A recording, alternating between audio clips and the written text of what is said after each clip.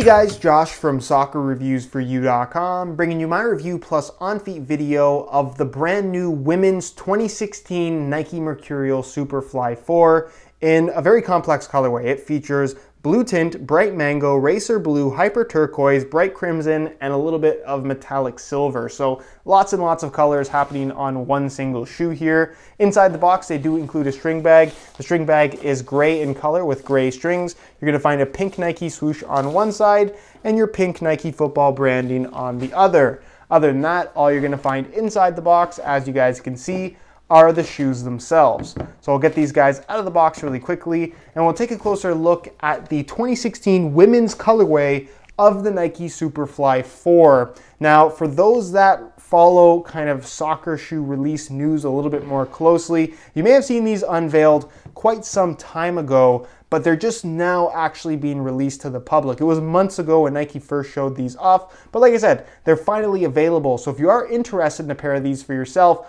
First link down below, go ahead and check it out. It's going to take you to the review page on my website where you will find buy it now links to pick these things up below their normal retail price with exclusive SR4U coupon codes, of course, so you won't pay the full $275 retail price. Now, being that this is a women's shoe, I know it's going to confuse quite a few people. It's not women's fit, it's just a women's colorway. What does that mean? The actual fit and shape of the shoe is no different from the men's variation. The only thing that's different is the sizing. And if you're a guy, you actually can wear these things. I'm gonna explain the sizing a little bit later during the on feet portion of the video. So if you wanna know more about that, Stick around, watch that part, and everything will be explained because the conversion is actually pretty simple. Of course, in today's video, we will be focusing on the fit as well as the sizing differences between the men's and women's variation of the Superfly 4. We're of course going to take a detailed look at the colorway, talk tech specs, as well as take a look at the weight of this shoe. So if you are interested in learning more, please stick around, watch the entire video, and with that being said, let's get right into the review. To start things off, let's take a closer look at the colorway, which is interesting to say the least. For me, and this is just my opinion, this looks like a Nike ID shoe in that it has so many different colors on it that I don't want to say don't work together, but it's definitely an odd combination that at the end of the day, honestly doesn't look all that bad. It's just very different and everyone's gonna have their own opinion on it, I'm sure. Now, being that this is a women's colorway, I know a lot of people will automatically assume that only girls can wear these and that's not necessarily the case. I think it's a tough argument nowadays to say that this is a girly looking shoe when there's been all pink men's colorways of the uh, Superfly 4 uh, that people have purchased and worn without any issues at all. So to say that these are too girly for a guy to wear, I'm not necessarily going to argue for that. Um, but again, everyone has their own opinion on that kind of thing. As far as this colorway is concerned, it's really cool in that it shows off the knitted aspect of the upper. You have a translucent Nike skin covering that covers up a combination of blue as well as like a very, very light gray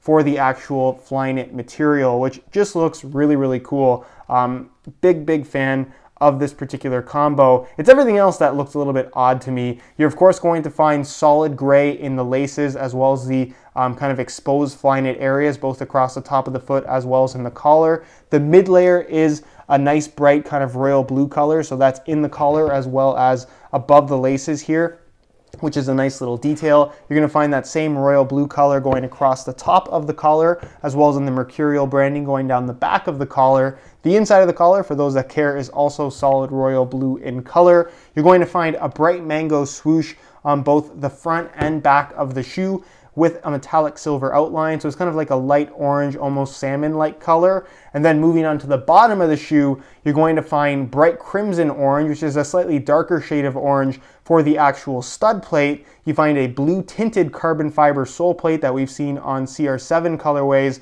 of the Superfly 4. And then the actual studs themselves are that uh, hyper turquoise color. So it's kind of like a teal um, turquoise, kind of very, very light greenish blue color. Um, at the tips of the studs that don't really go with anything else on the shoe, but uh, they kind of went all out with going for different shades of oranges and blues and silvers and greens all on one single colorway. So again, let me know your opinions on it down below in the comment section. I'm a big fan of the base color. I think that the combination of gray and blue looks absolutely fantastic. I like that it shows off the knitted aspect of it, but all the other accent colors, I can't say that I'm too crazy about. But again, let me know your opinions on, on this particular shoe down below in the comment section. Do you like how these look? Why or why not. And with that being said, let's move on to the tech specs so we can learn a little bit more about the overall performance. As far as tech specs and performance goes, not to repeat myself too many times in the same video, but whether it's the men's or women's version of the Superfly 4, nothing is actually different about the shoes other than the way the sizing works. The shape, the materials, the construction, everything is identical aside from the colorway and like I said, the way the sizing works. Other than that, there is no difference whatsoever. So with this Women's Superfly 4, you're getting a regular Superfly 4. It features a Flyknit upper that's obviously more structured in all the areas covered in, uh, in Nike skin, the main parts of the upper. Uh, the actual um, Flyknit material is on the thinner side, so it's going to provide more of a barefoot sensation. But because it is a knitted material, it does have a slightly padded sensation as well. There is actually a playtest video of the Superfly 4 up on my channel, so if you guys want to check that out, I'll leave an annotation on screen. You can go ahead and watch it if you haven't already. You're going to find Brio cables that run from the base of the sole into the lacing system that act as one of the main structure elements in terms of keeping your foot locked in place and just giving the shoe a very responsive feel. You're also going to find internal supports um, that you can't see but definitely can feel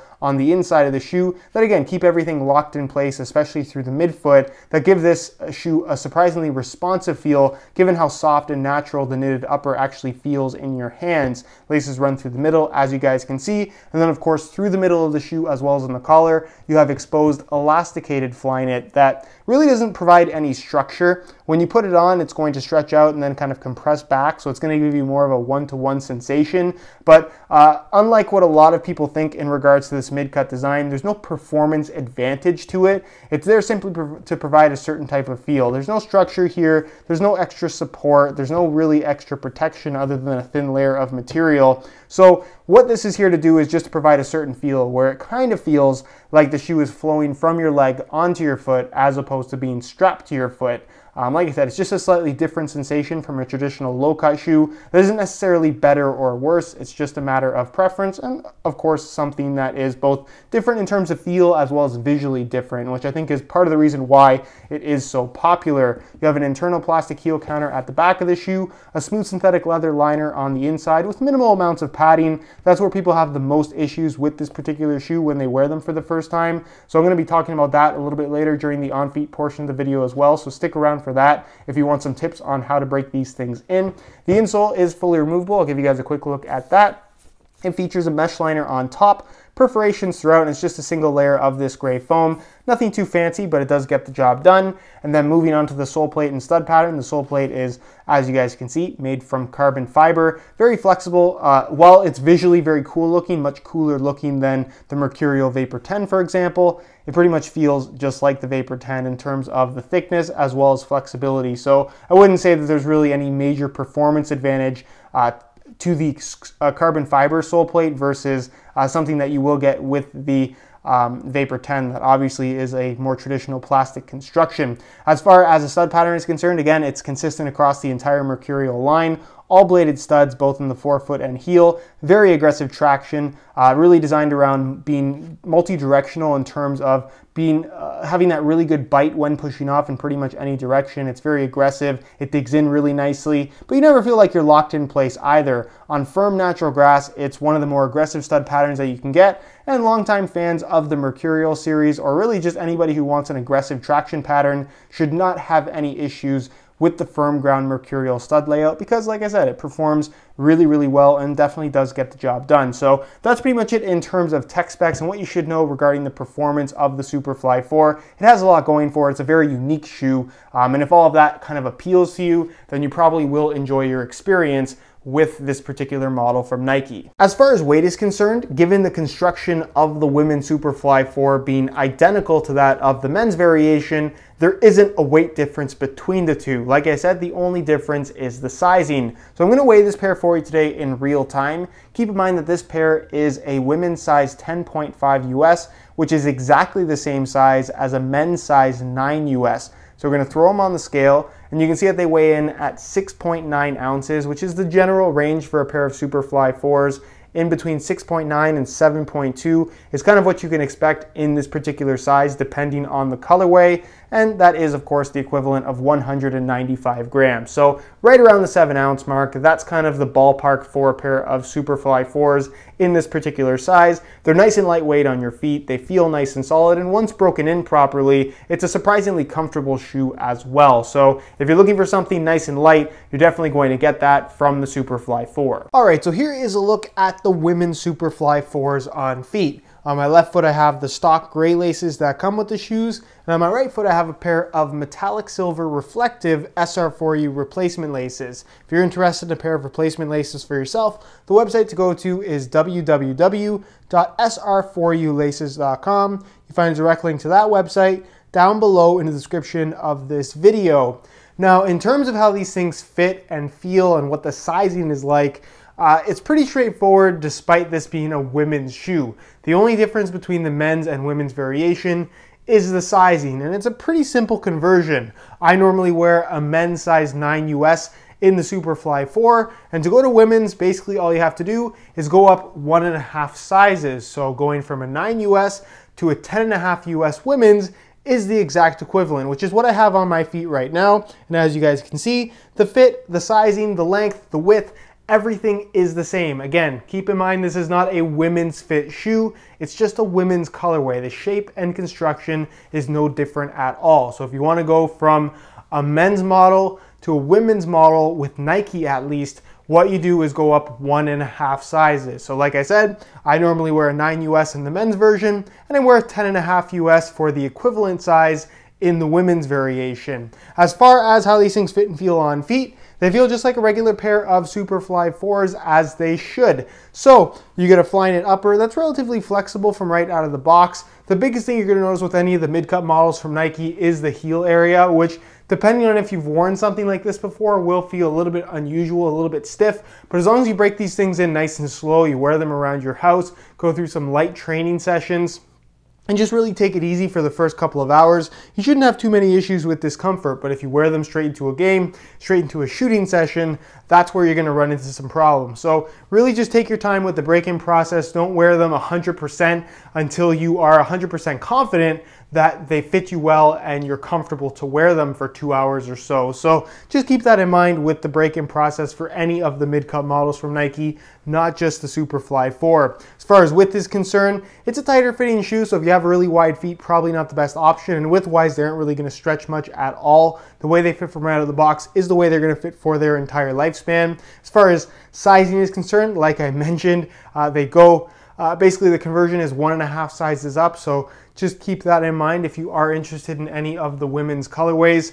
um, whether it be the Superfly, the Magista, the Tiempo, or the Hypervenom, all the same sizing conversions apply to all four of the different silos. And that's pretty much it, guys. They feel like regular Superfly 4s.